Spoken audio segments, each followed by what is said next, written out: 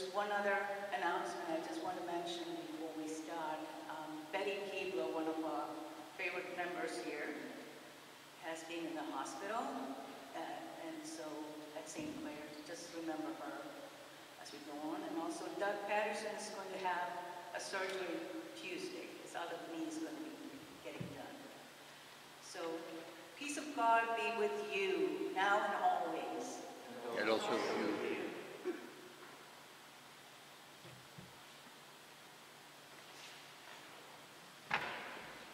Let us prepare our hearts and minds for prayer. The call to worship that we didn't use before, I'll just use it now.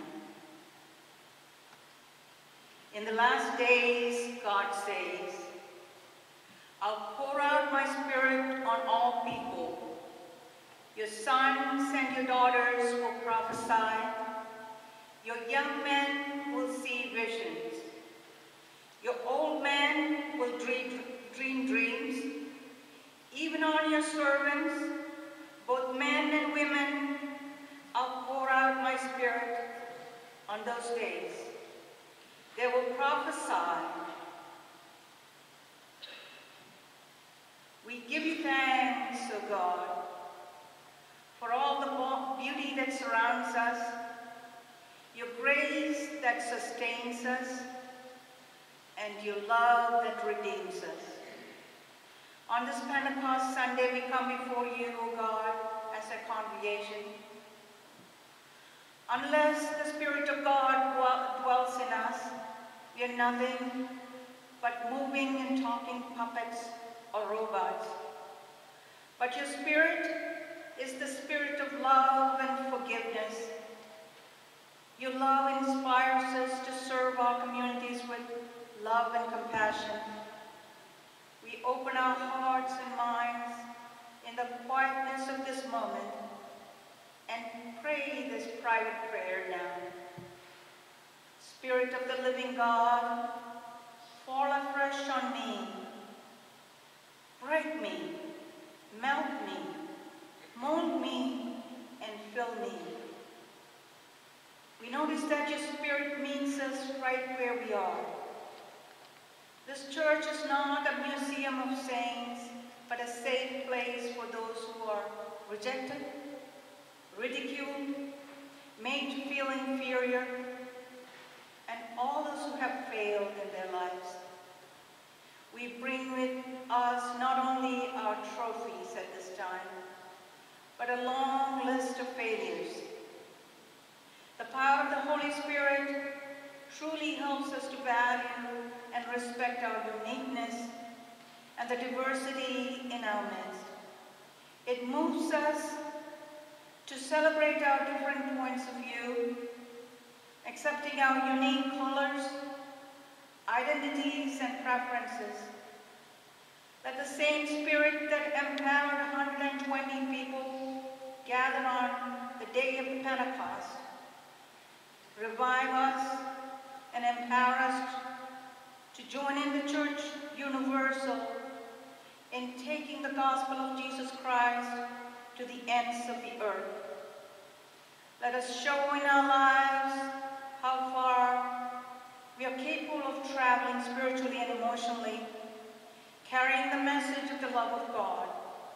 Help us to examine how bright our light is for a world that is lost in a world of darkness. We remember the victims and families of the most recent Tulsa, Oklahoma shooting at the medical facility. We remember the refugees of the world, people of Ukraine. Many have suffered because of unrest within our city and surroundings. We pray for all those who are involved in the Pride celebrations this week within our city neighborhoods, working, working to build awareness on LGBTQ plus friends in our midst. We pray for all those who are joining us at this time of prayer, seeking healing and wellness. Gracious God, hear all our prayers, our spoken prayers as well as our silent sighs. As we pray as Jesus taught us, our God, Who art in heaven, hallowed be thy name. Thy kingdom come. Thy will be done on earth as it is in heaven. Give us this day our daily bread, and forgive us our sins as we forgive those who sin against us. And lead us not into temptation, but deliver us from evil. For thine is the kingdom, the power, and the glory forever. Amen. Today's scripture reading comes from the Acts of the Apostles, chapter 2, verses 1 through 16, then again from uh, verses 22 through 24. Listen now for the word of God.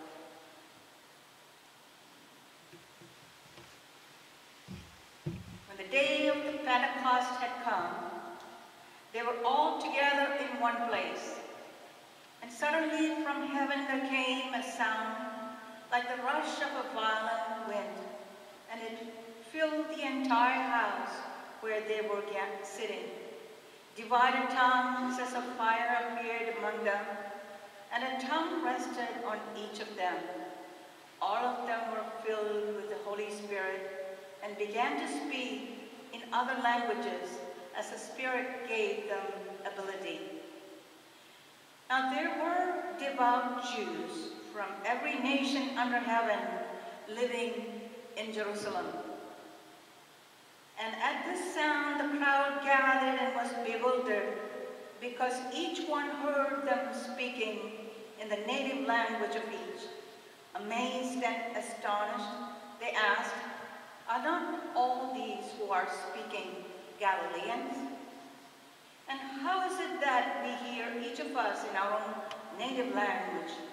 Parthians, Medes, Elamites and residents of Mesopotamia, Judea and Cappadocia, Pontus and Asia, Phrygia and Pamphylia, Egypt and parts of Libya belonging to Cyrene, and visitors from Rome, both Jews and proselytes, Cretians and Arabs, in our own languages, we hear them speaking about God's deeds of power.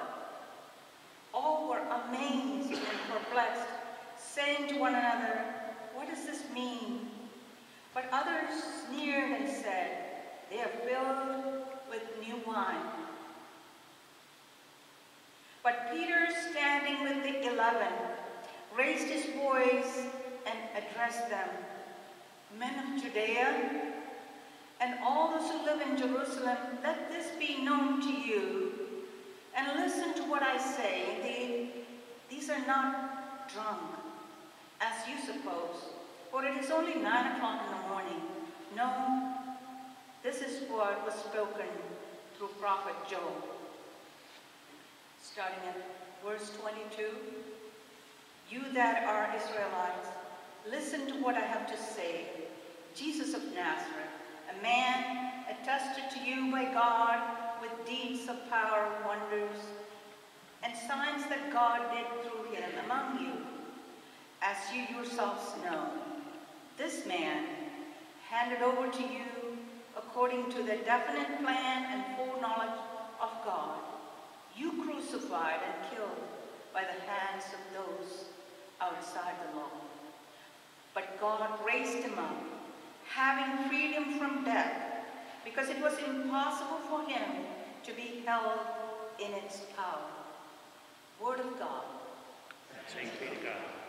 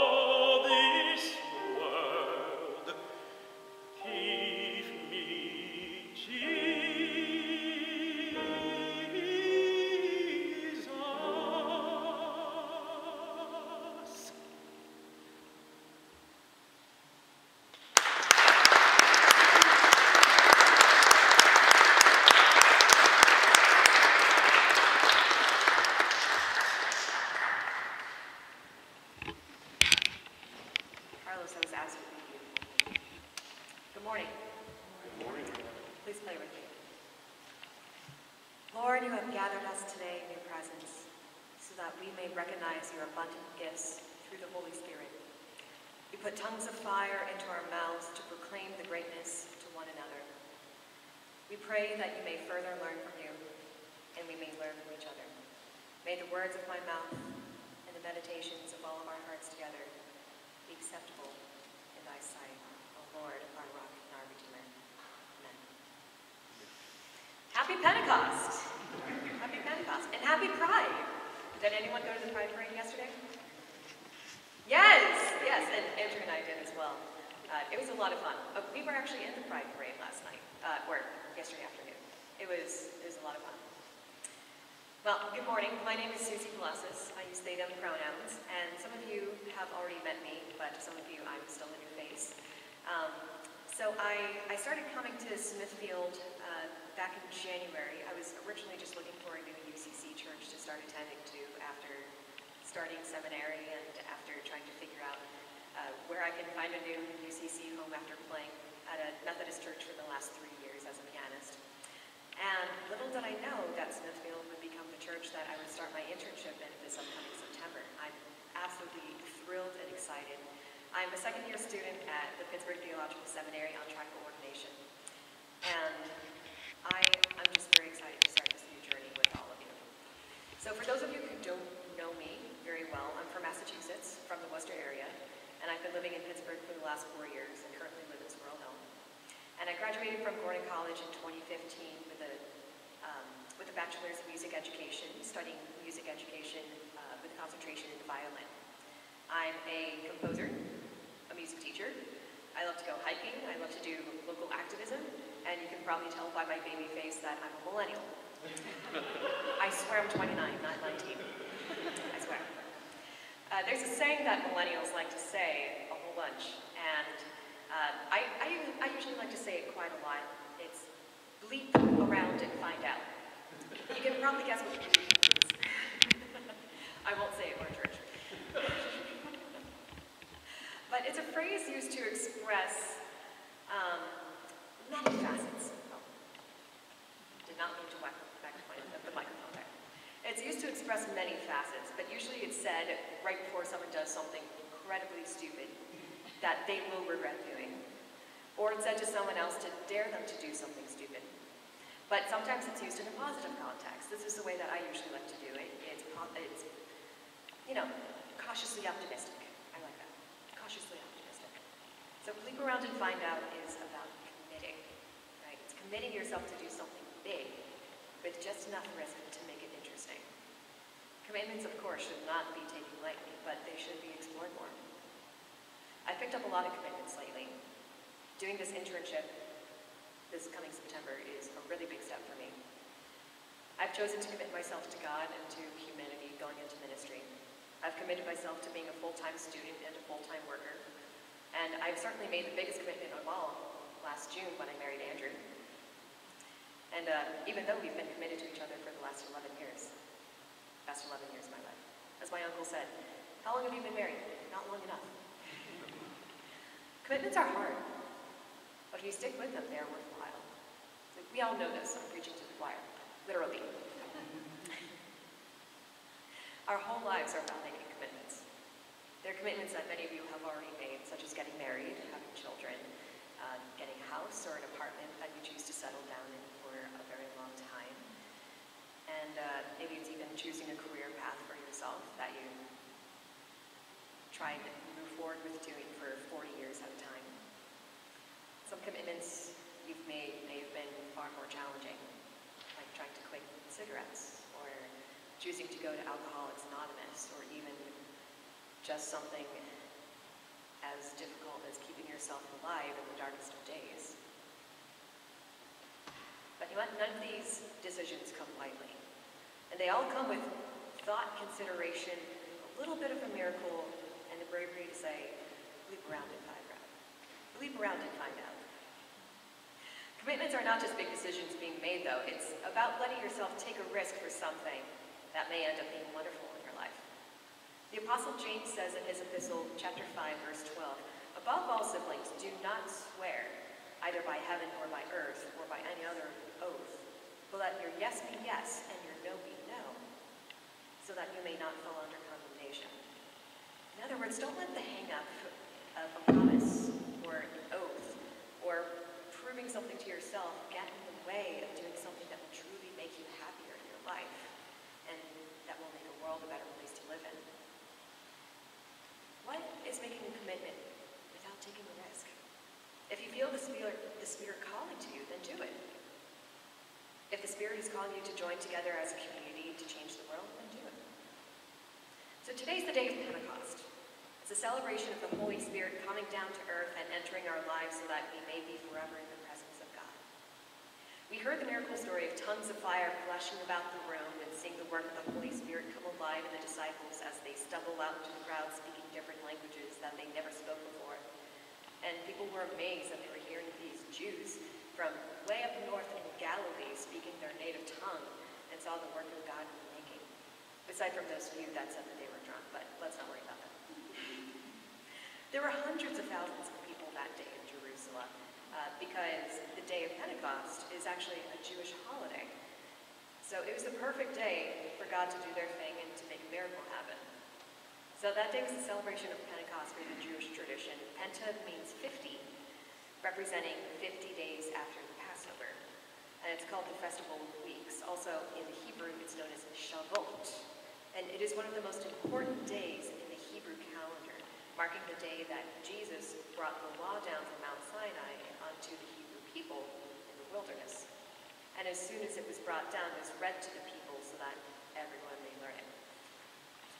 The law of Moses is the basis of Jewish religion and tradition. And Shavuot was a day of a miracle, a new beginning, and certainly a new day to mark commitment to follow the law the way that God instructed the people to do. The commitment day of Shavuot became a new day of commitment for 3,000 Jews and Gentiles that day in Jerusalem when they heard the good news proclaimed to them for the first time from the disciples.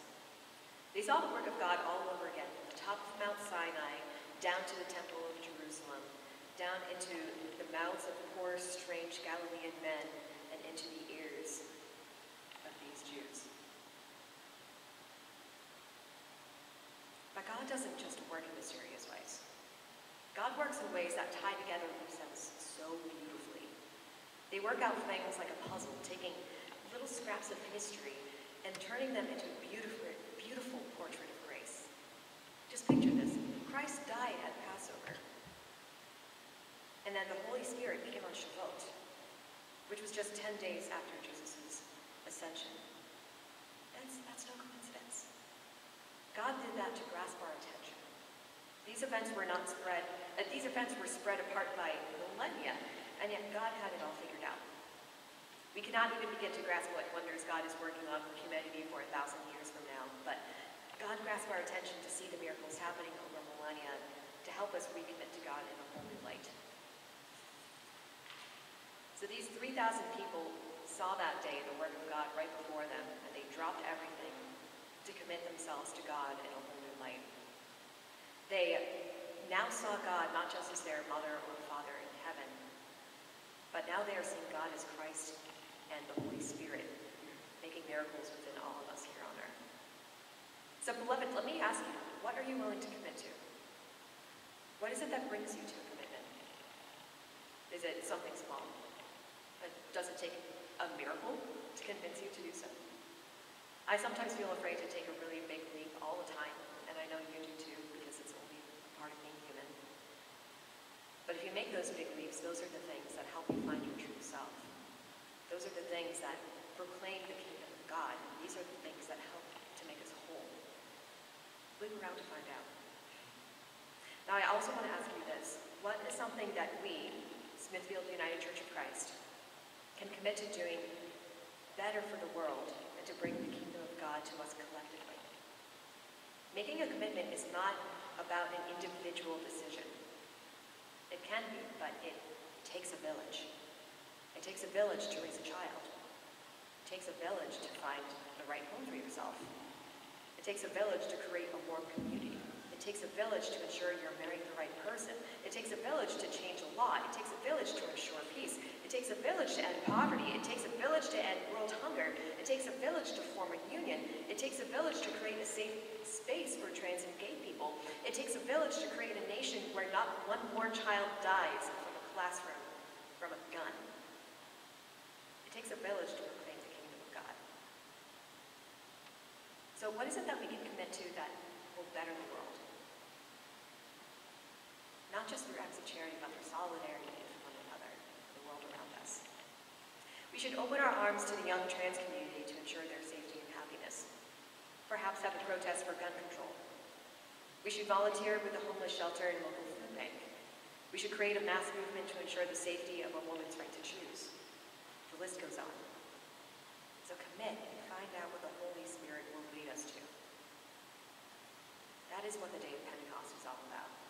A day to remember that the Holy Spirit is our guide and can lead us into great things. If we just take the and commit, and find out. Whatever the, whatever the big leap or commitment might be, I want to challenge you to additionally commit yourself to God for guidance. Use spiritual time to commune with God. The Holy Spirit is there as a beacon of healing and comfort among troubling times when we need, when we need God the most to make those challenging decisions. The Holy Spirit is our spiritual guide through discernment and mother to hold us, cradling us as children. Please pray with me. Spirit of the living God, fall afresh on us today. Melt us, mold us, fill us, and use us as your stewards in a challenging world. We thank you for new beginnings and new opportunities, and help us in the times of trial that we may commit to your will. In Christ's name we pray.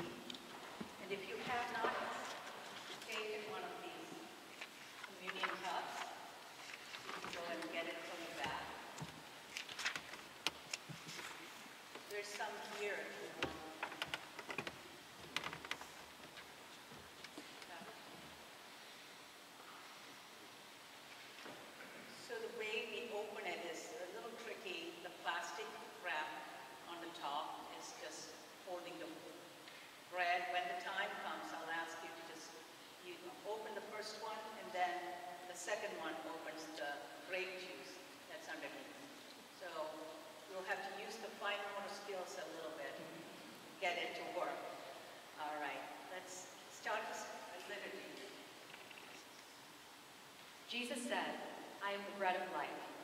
You who come to me shall not hunger. You who believe in me shall never thirst. In company with all who hunger for spiritual food, we come to this table to know the risen Christ and the sharing of this life-giving bread, God be with you. and also with you. Lift up your hearts. We lift up. We give thanks to God Most High. Is right to give God thanks and praise. We follow back section A at this. Eternal God who has created the heavens and the earth, giving breath to every living thing. We thank you for all the gifts of creation and for the gift of life itself. We thank you for making us in your own image, for forgiving us when we act as though we have no claim on us, and for, and for keeping us in your steadfast care. We rejoice in Jesus Christ, the only one eternally begotten to you, who was born of your servant Mary, and who shared the joys and sorrows of life as we know it. We remember Christ's death, we celebrate Christ's resurrection, and in the beloved community of your church, we await Christ's return at the end of history. We take courage from the abiding presence of your Holy Spirit in our midst. We offer you our praise for women and men of faith in every age who stand as witness to love and justice. With all the prophets, martyrs, and saints in all the company of heaven, we glorify you. Holy, holy, holy, God of love and majesty, the whole universe speaks of your glory, O God most high. Blessed is the one who comes in the name of our God. Hosanna in the highest. We remember that on the night of betrayal and desertion, Jesus took bread, gave you thanks, broke the bread and gave it to the disciples, saying, This is my body, which is broken for you. Do this in remembrance of me. In the same way, Jesus also took the cup after supper, saying, This cup is the new covenant in my blood. Do this as often as you drink it in remembrance of me. By eating this bread and drinking this cup, we proclaim Christ's death, celebrate Christ's resurrection, and await Christ's coming again. Amen. Come, Christ Jesus. Gracious God, we ask you to bless this bread and cup and all of us with the outpouring of your Holy Spirit. Through this meal, make us the body of Christ, the church, your servant people, that we may be salt and light and leaven for the further furtherance of your will in all the world. Amen. Come, Holy Spirit.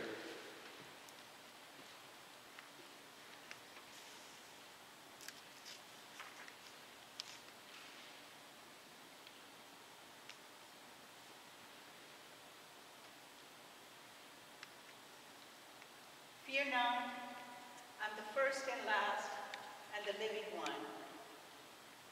I died, and behold, I am alive forevermore.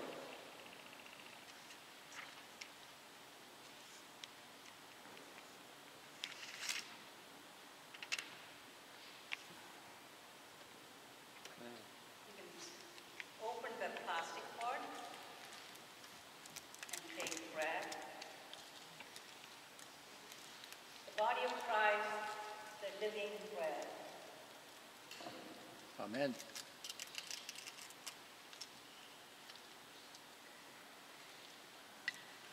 After the bread, open the thicker covering.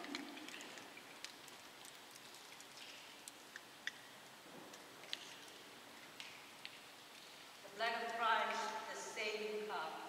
Amen. Let us pray. Eternal God, you have called your people from east and west, north and south, to feast at the table of Jesus Christ. We Thank you for Christ's presence and for the spiritual food of Christ's body and blood. By the power of your Holy Spirit, keep us faithful to your will. Go with us to the streets, to our homes, and to our places of labor. That whether we gather or are scattered, we may be the servant church of the servant Christ, in whose name we rejoice to pray. Amen. May God bless you and keep you. Amen. May God's face May God's face shine upon you and be gracious to you. Amen. May God look upon you with kindness and give you peace. Amen. Let us go forth into the world rejoicing in the power of the Holy Spirit. Thanks be to God.